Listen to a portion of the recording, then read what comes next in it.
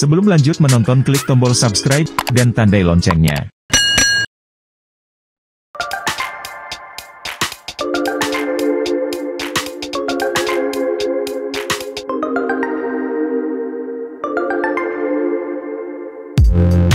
Mitra Lovers, mengembangkan industri kendaraan listrik di Indonesia, PEV 2024 kembali diadakan. Mengusung tagline The Leading EV Show in Indonesia, selain menampilkan kendaraan listrik, pengunjung juga akan mendapatkan tren terkini seputar kendaraan listrik.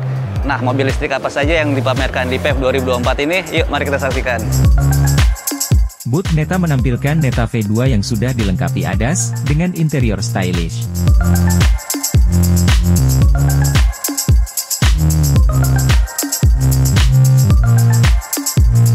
Ada juga Wuling Cloud EV yang dijual 410 juta rupiah dengan jok model sofa nyaman.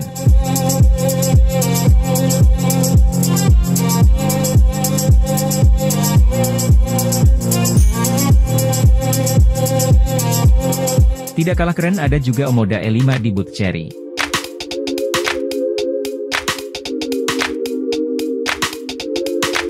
Sementara BD memajang tiga mobil listrik, yakni Dolphin, Atto 3, dan Seal.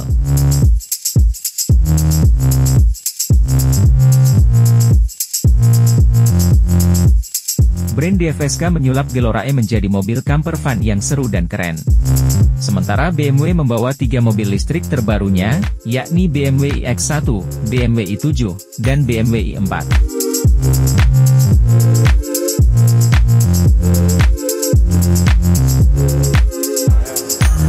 Bagaimana? Keren-keren kan desainnya? Kira-kira mobil listrik mana yang jadi idaman kamu? Tulis di kolom komentar ya.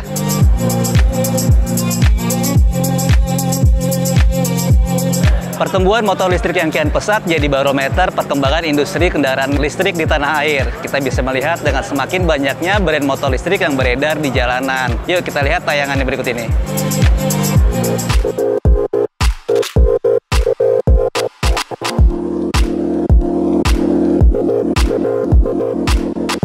Dari area motor listrik juga tak kalah seru. Selain ada beberapa brand motor listrik yang sudah akrab di telinga, sebut saja Honda, Gesits, dan lainnya. Dalam pameran ini juga banyak diramaikan oleh brand motor listrik Cina, walau masih berstatus baru diperkenalkan. Kebanyakan didominasi oleh model skuter. Desainnya modis dan tak kalah menarik mulai dari bagian bodi sampai area jok yang bisa jadi inspirasi motor kamu.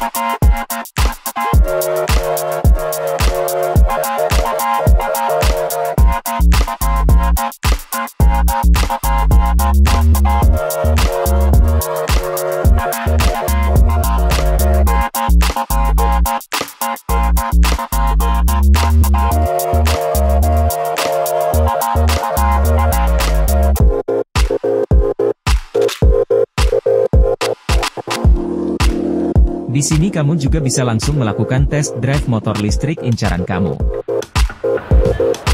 Nah, dengan teknologi motor listrik yang semakin canggih, kira-kira kalian sudah siap belum beralih ke motor listrik?